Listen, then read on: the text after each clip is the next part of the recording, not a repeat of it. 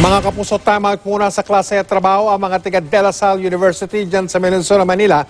At yan ay para saksiyan nilang pagpapailaw ng Christmas display sa kanilang campus. Ang pagsisimula ng Paskong Animo Lasal ay tinututukan ngayong gabi ng live ni Susan Enriquez. Hoy, Susan! Mike, pinailawan na rin ngayong gabi ang Christmas display dito sa De La Salle University sa Taft Avenue, Maynila. Two, one, zero.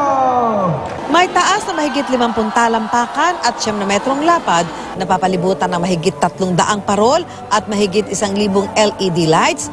Ito ang nagpaningning sa paligid ng De La Salle University nang pailawan ng kanilang taunang Christmas tree display ngayong gabi.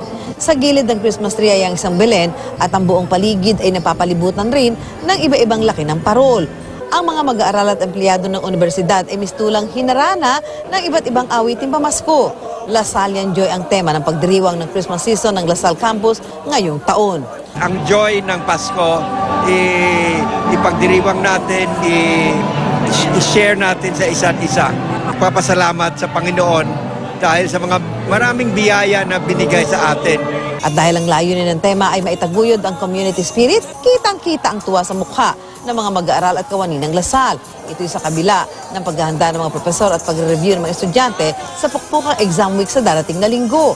Kaya ini-enjoy ng bawat isa para makapag-banding gaya ng pamimili ng pangregalo at pagsubok ng iba't ibang pagkain sa Campus Bazaar.